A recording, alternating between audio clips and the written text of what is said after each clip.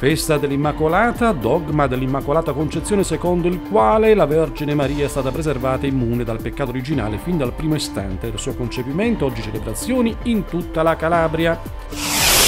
Festa dell'Immacolata, parola agli esperti, dal punto di vista di un laico, parola al professor Giarmoleo.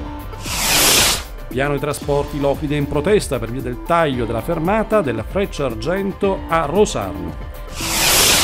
Mercatini di Natale partono oggi tutta una serie di manifestazioni anche di beneficenza che porteranno a Natale. Modello Riace apprezzato in Camera, Grasso esalta la qualità dell'accoglienza del piccolo paesino calabrese. Completati a Bivongi lavori di restauro interno del monastero di San Giovanni Terestis. Benvenuti al giornale festivo di Telemia, buon giorno dell'Immacolata a tutti, ovviamente il nostro giornale oggi incentrato sui temi della festività. E proprio con questa partiamo con il vero significato, come al solito apriamo i nostri giornali festivi parlando appunto della celebrazione e delle tradizioni dei riti in Calabria. Oggi 8 dicembre ricorre la festa dell'Immacolata Concezione, una delle feste che anticipa il Santo Natale e che viene considerata come una vera e propria istituzione, con le sue particolarità e tradizioni popolari. Ma cosa si celebra precisamente? Festività che avviene fra la seconda e la terza domenica di Avvento e riconducibile alla nascita di Maria, concepita senza peccato originale, in quanto ha preservato sin dai primi istanti della sua vita la purezza e la sua immunità dal peccato. Il dogma della concezione immacolata della Vergine Maria fu proclamato da Pio IX nel 1854, ma le origini della festa dell'8 dicembre sono molto più antiche. Infatti, già nel Contra Julianum di Agostino si legge la chiara obiezione del santo circa l'universalità del peccato originale. Non assegniamo Maria al diavolo per la condizione del nascere, perché la stessa condizione del nascere è risolta dalla grazia del rinascere. Questo affermava Sant'Agostino. Gli effetti della grazia di Dio, nell'assenza in Maria del peccato originale, erano dunque chiari già nel IV secolo. L'Immacolata Concezione è un dogma cattolico e la Chiesa, prima di istituirne la festa l'8 dicembre, ha sempre mantenuto un atteggiamento prudente. Un primo passo concreto fu fatto solo nel XV secolo, quando Papa Sisto IV introdusse la festa liturgica dell'Immacolata, pur non pronunciandosi sul piano dogmatico, ma fu Clemente XI che rese universale la festa dell'Immacolata. L'arrivo di tale data simboleggia per molti l'inizio delle festività natalizie e pertanto ci si prepara ad accogliere la venuta del Salvatore con addobbi e celebrazioni.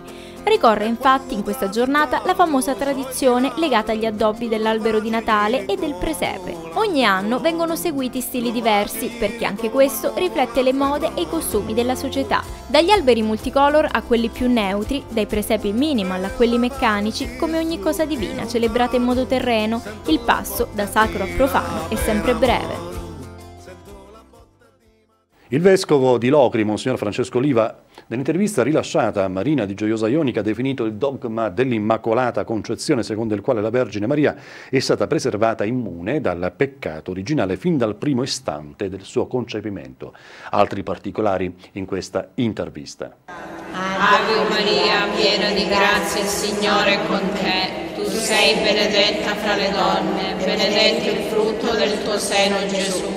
O Maria concepita senza peccato, pregate per noi che ricorriamo a voi. Siamo davanti all'immagine della Madonna, nella raffigurazione della Madonna Immacolata. Immacolata è una qualità della Vergine Maria, cioè senza peccato, concepita da Dio senza peccato, una verità questa della nostra fede che si è affermata lentamente nel tempo, pur essendoci sempre nella consapevolezza eh, religiosa della Chiesa, la Vergine senza peccato, la piena di grazia, così come è stata eh, chiamata dall'angelo Maria piena di grazia, questa verità di fede è stata affermata poi recentemente in età moderna da Pio IX nel 1850 quando proclamò il dogma della Vergine Immacolata, cioè concepita senza macchia di peccato originale quattro anni dopo a Lourdes la Vergine comparve a Bernadette Subiru e disse io sono l'Immacolata Concezione, quasi a voler confermare questa verità della fede cattolica che era stata definita da poco dal, dal Papa. come noi possiamo vedere se guardiamo questa immagine, l'immagine della Madonna Immacolata presenta questa donna che calpesta il serpente. Eh, ecco, è l'immagine del male che viene sconfitto dalla Vergine. Infatti, sin dall'eternità, dalle origini, quando, dopo che Dio ha creato il cielo e la terra, eh, l'uomo in Adamo si è ribellato a lui, ha commesso il primo peccato, Dio non ha voluto abbandonare il suo destino, l'umanità, ma ha voluto promettere un percorso di salvezza. E già da allora Dio ha lasciato intravedere l'immagine di questa donna che avrebbe schiacciato la testa al serpente. E Maria quindi è stata colei che ha detto sì a questo progetto di salvezza di Dio eh, accettando di essere la madre del suo figlio, la madre, la madre di Gesù, colui cioè che attraverso la sua vita, la sua morte in croce ci ha salvati sconfiggendo le conseguenze del peccato originale. Ecco, Maria non ha risentito del peccato originale, è la tutta santa, è colei che ha detto un sì pieno a Dio, è stata concepita sin dalle origini senza peccato, ma poi tutta la sua vita è stata una vita pura, senza peccato, per cui lei diventa allora il modello del cristiano, la tutta santa, la beata fra tutte le donne, la piena di grazia da parte del Signore. Maria quindi rimane per noi questa immagine. Noi celebreremo la festa solennità dell'Immacolata Concezione proprio per guardare colei che è la madre di Cristo madre di Dio e che è la nostra madre, ma anche il modello della nostra vita di cristiani, la tutta santa, ecco, concepita dal Signore in tutta la sua bellezza. Dio non poteva pensare ad una donna più perfetta eh, come madre del suo figlio e Maria rappresenta proprio la donna perfetta che mette al mondo il figlio di Dio, quindi madre di Dio e madre nostra.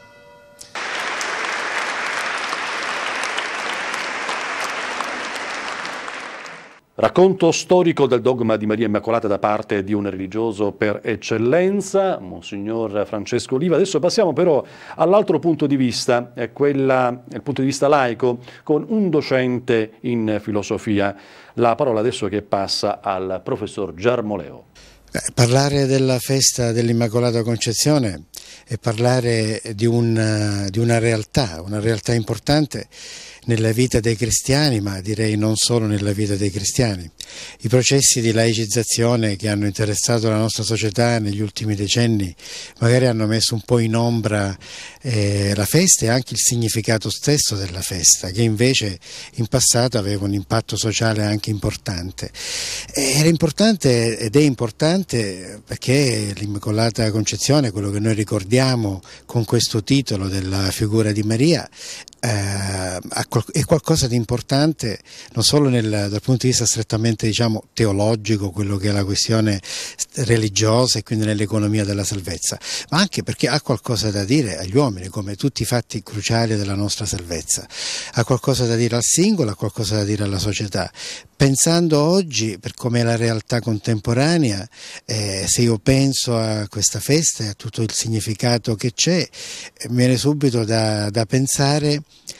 alla, ad una vita donata. Ecco, L'Immacolata Concezione si inquadra in una vita che appunto viene donata per un fine più alto. È quello che è la scelta che ha fatto Santa Maria, ma è la scelta a cui sono chiamati tutti i cristiani.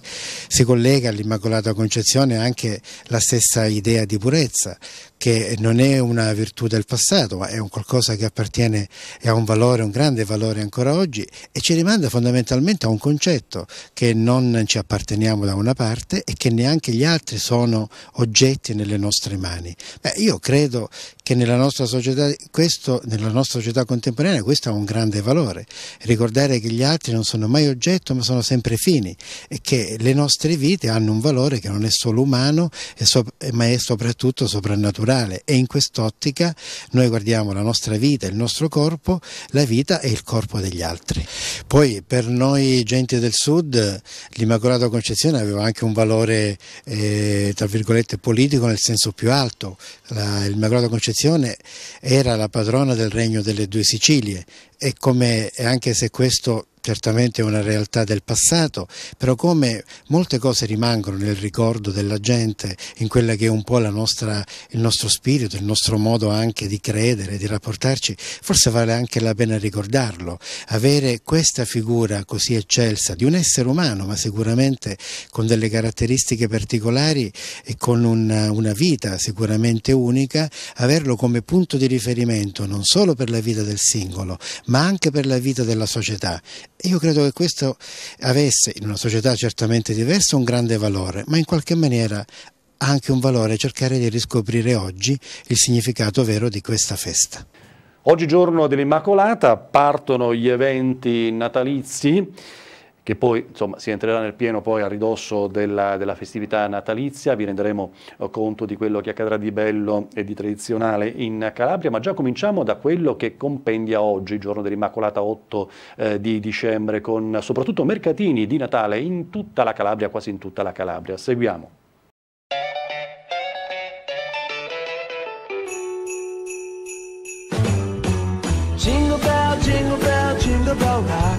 A jingle bells swing and jingle bells ring, snowing and blowing a bushels of fun. Now the jingle hop has begun. Jingle bell, jingle bell, jingle bell rock. A jingle bells chiming, jingle bell time. Dancing and prancing in Jingle Bell Square. In the frosty air. Quando si parla di Ponte dell'Immacolata, su cosa fare e dove andare, si pensa subito ai mercatini di Natale. Grazie a casette di legno, addobbi natalizi, luci alberi di Natale, regali e presepi, entrare nell'atmosfera magica del Natale è facilissimo e basta sfruttare i quattro giorni di ponte che l'Immacolata offre in questo 2016. Il ponte dell'8 dicembre è certamente il momento in cui ufficialmente inizia il periodo natalizio e il conto alla rovescia verso il 25 dicembre. Questo anno in Calabria gli eventi natalizi cui fa riferimento sono diversi. Fino al 23 dicembre a Cosenza, ma anche Tropea, ospiteranno i tradizionali mercatini di Natale. I mercatini saranno ospitati con dei speciali stand anche nei paesi della piana di Gioia Tauro, che si preparano così all'arrivo del Natale.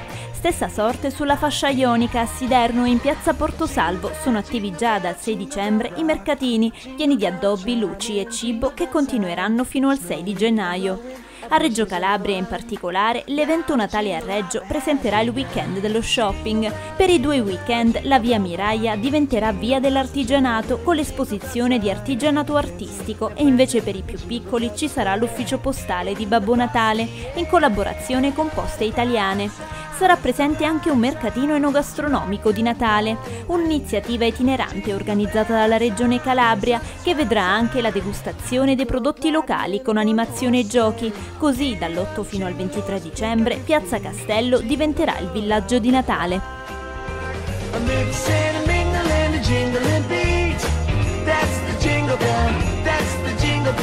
That's the jingle bell,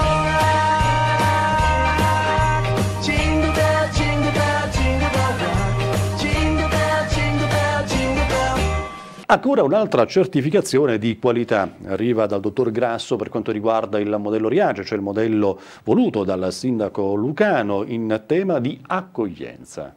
La proiezione di Un paese di Calabria, il docufilm di Sciuaiello e Catherine Catella, ha dato al presidente del Senato, Pietro Grasso, l'occasione per definire Riace, comune di cui il documentario parla, un gioiello d'Italia. Vorrei partire da una considerazione che ancora in troppi si rifiutano di fare propria, dice Grasso. Le nostre città, le nostre famiglie, le classi dei nostri figli e nipoti sono destinate a colorarsi di altre realtà, a generarne di nuovi, a fare conti con tradizioni profondamente differenti. Lo ha capito Domenico Lucano, sottolinea, che dal primo arrivo di richiedenti asilo curdi nel lontano 98 ha costruito le basi di un progetto oggi studiato e ammirato in tutto il mondo. Insomma, il sindaco di Riace è stato un esempio di come occorrano uomini capaci di sognare in grande e in grado di coinvolgere altre persone giorno dopo giorno.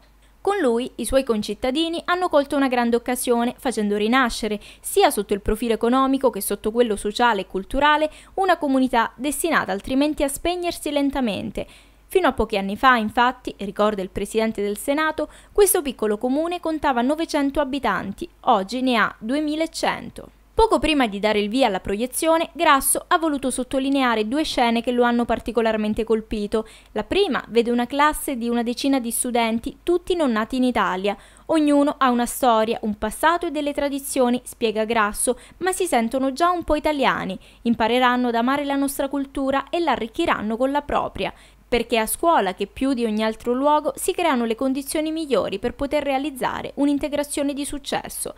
La seconda scena è quella di un ragazzo che racconta la sua tragica traversata nel Mediterraneo.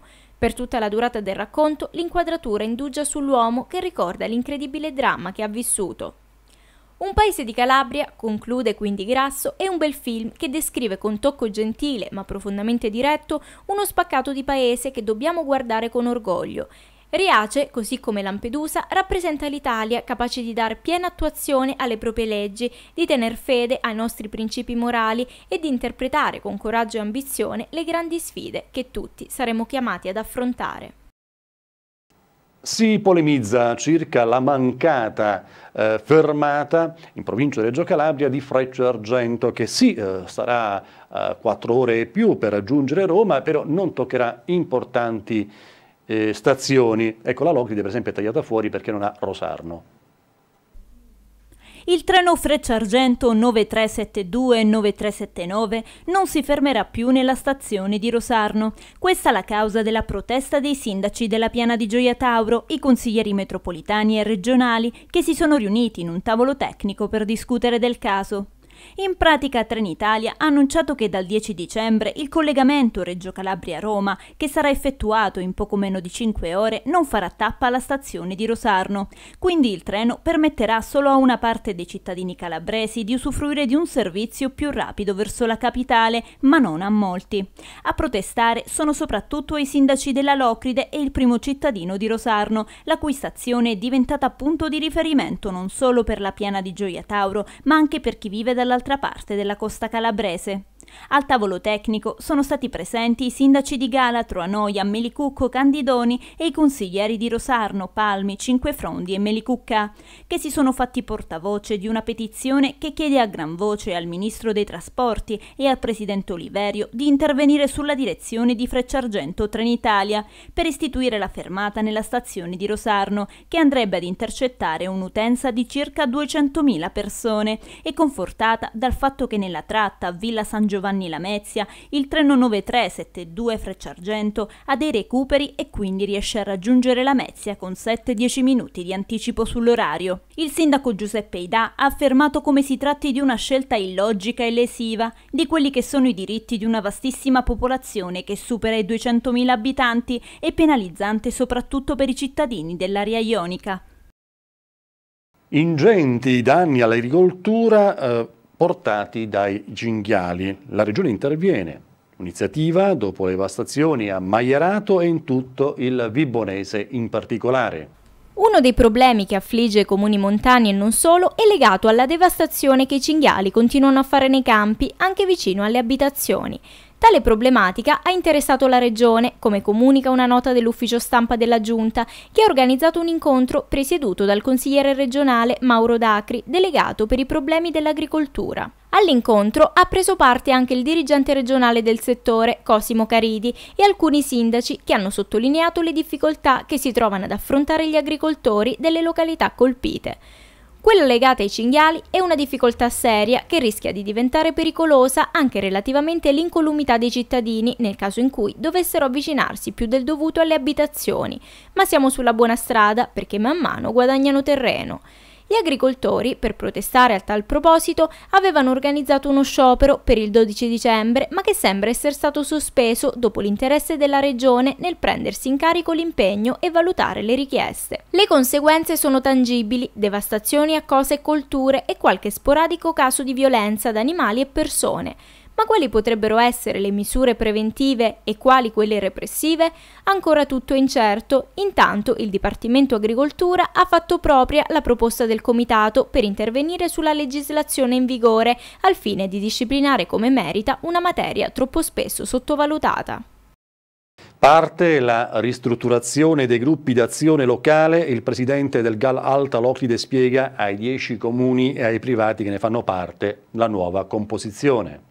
Siamo in una nuova fase con questi GAL, perché sembra che il GAL di secondo livello debba sparire.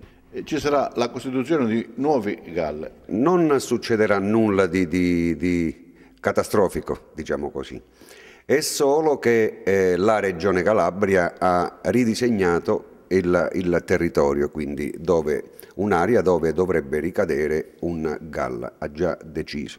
Quindi questo ci ha spinti a ragionare, come è giusto, con eh, i comuni e con i privati di tutta questa area. Certo, prima noi eravamo i dieci comuni, da Stilo, Bivongi a Roccella, e Galla Altalocride. Peraltro questi nuovi parametri eh, dettati dalla Regione prevedono anche un minimo di eh, comuni, almeno 16, ma questo è, era in relazione che, eh, per la presentazione del, di un progetto al nuovo PSR appunto. Eh, almeno in un'area molto più vasta, eh, con almeno 100.000 abitanti, questo, certi, certo questi parametri il nostro Gallo Altalocride non, non, non li aveva, era, siamo molto lontani come ben sapete.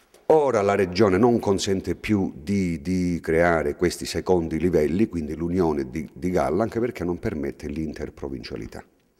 Questo certo ci ha spinti e siamo contenti e speriamo che questo nuovo Galla costituendo, che quindi è quello che stiamo facendo ormai da mesi, quindi una serie di, di incontri, il sindaco di Siderno, il senatore Fuda, eh, si è impegnato personalmente convocando queste riunioni che hanno dato vita a questo nuovo progetto. Si è arrivati a fare una bozza di statuto che è stato dato comunque a tutti i comuni ricadenti in quest'area, anche ai privati perché eh, un organismo Galla comunque ha all'interno sia quote pubbliche sia quote private.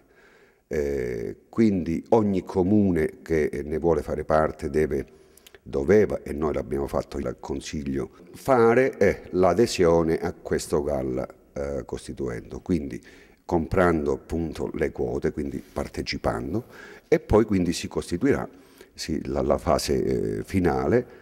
Io invito tutti i comuni davvero ricadenti in quest'area a partecipare, quindi ad essere eh, attori principali.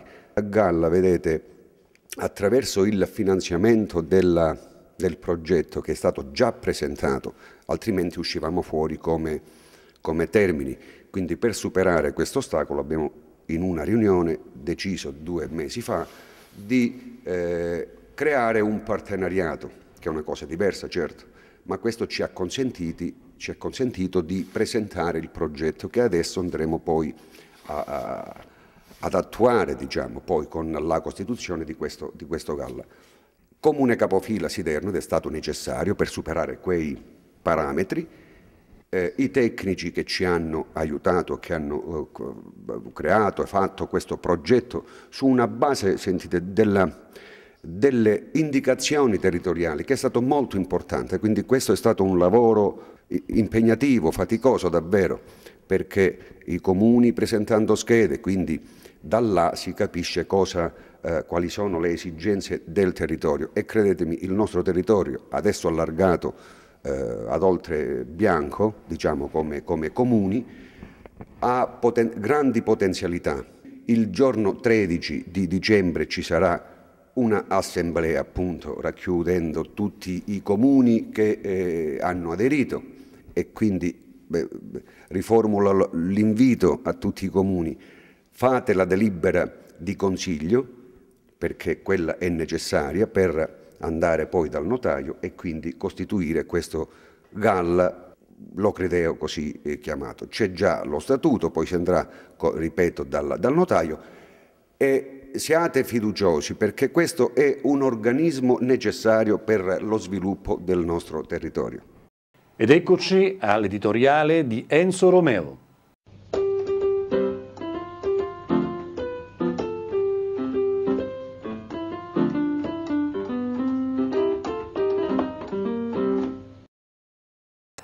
Di nuovo con 10 eh, righe all'interno del TG di Telemia, un eh, saluto a tutti. Eh, la sanità in Calabria dà sempre delle notizie un po' contraddittorie perché talvolta si parla di polemiche mh, mm, e quindi per esempio cardiochirurgia a Reggio Calabria inaugurata dal ministro Lorenzin ancora non è stata eh, aperta ma questo crediamo accadrà di qui a breve le polemiche dei partiti, le contrapposizioni tra commissario eh, e governo regionale, poi però vengono fuori delle notizie interessanti, cioè ci sono anche dei punti di eccellenza e quindi questo sembra eh, alimentare, questo particolare sembra alimentare giustamente delle speranze. In realtà quando si parla dell'urologia di Reggio Calabria non si può parlare di speranza o di prospettiva ma si deve parlare di certezza, perché eh, sotto la regia del primario Pietro Cozzupoli, che è un uh, egregio medico, un fuori classe della sua materia, non lo dico io, lo dicono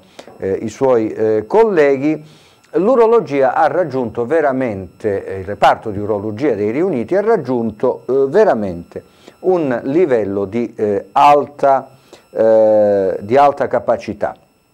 A Reggio, per esempio, è partita quella che viene definita l'avveniristica esperienza della chirurgia urologica robotica, quindi proprio si è al passo con i tempi. Eh, già senza eh, l'aiuto dei robot, eh, Cozzupoli e la sua equip avevano veramente fatto degli interventi, eseguito degli interventi di grandissima eh, complessità e con grandi eh, risultati. Ora, eh, l'aiuto della tecnologia non può, altro, non può, fare altro che esaltare ulteriormente la capacità di questi medici ed è un fatto positivo che eh, l'urologia di Reggio Calabria abbia seguito proprio eh, il passo dei tempi e quindi della modernità e della innovazione eh, tecnologica.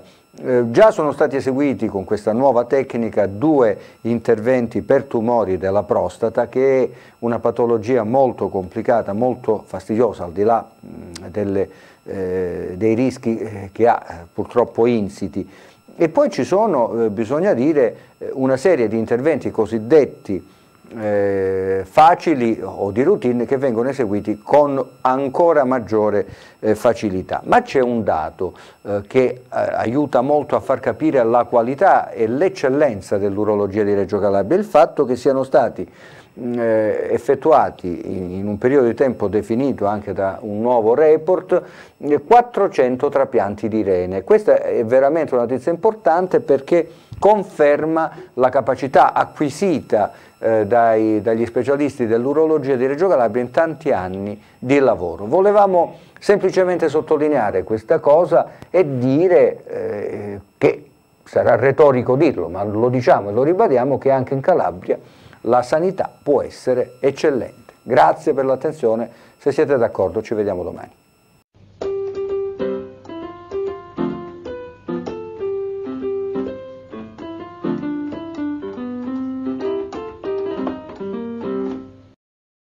Ci fermiamo per la pubblicità, tra poco.